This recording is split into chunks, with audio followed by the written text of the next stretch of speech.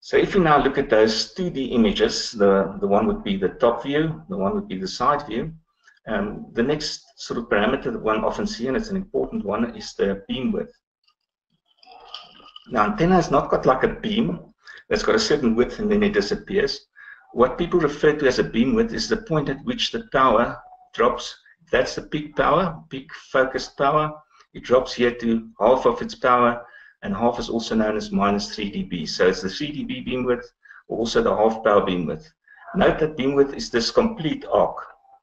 Um, in other words, it's not plus minus the beam width. The beam width is the complete arc that's covered. Also note that the gain is not maintained over that beam width. You're going to get the main gain, the peak gain in the pattern, and up down to minus 3 dB. So if you're planning links um, that have to cover a number of sort of uh, different angles, uh, do keep that into account.